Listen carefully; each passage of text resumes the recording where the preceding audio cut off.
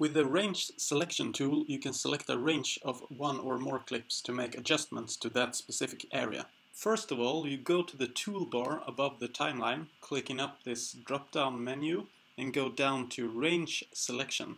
Keyboard shortcut for this is R. To select an area, you just click and drag the area you want to select and then make the changes you want to that area. You can also select an area by pressing I for in point and O for out point. To use this second method, you must have skimming activated. When activated, your mouse cursor will have a red line following the cursor on the timeline.